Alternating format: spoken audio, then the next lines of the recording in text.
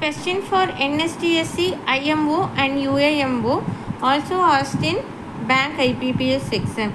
A man has rupees 480 in the denomination of 1 rupee notes, 5 rupee notes and 10 rupees notes. The number of notes of each denomination is equal. What is the total number of notes that he has?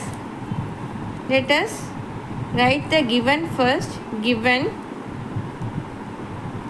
total amount is equal to rupees 480 and the denominations are given. Denominations of 1 rupee and 5 rupee and 10 rupee notes are given.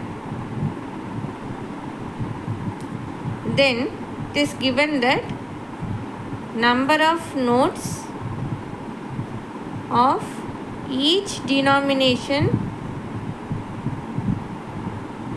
is equal. It is given in the question.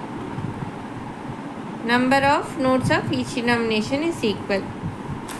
What we have to find to find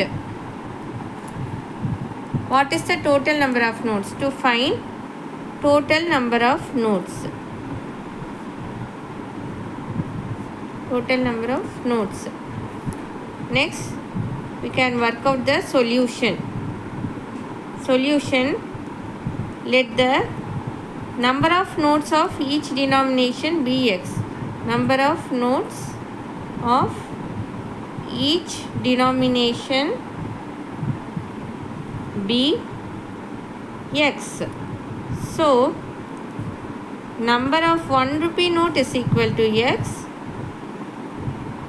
number of 1 rupee notes is equal to x. Number of 5 rupee notes is equal to x.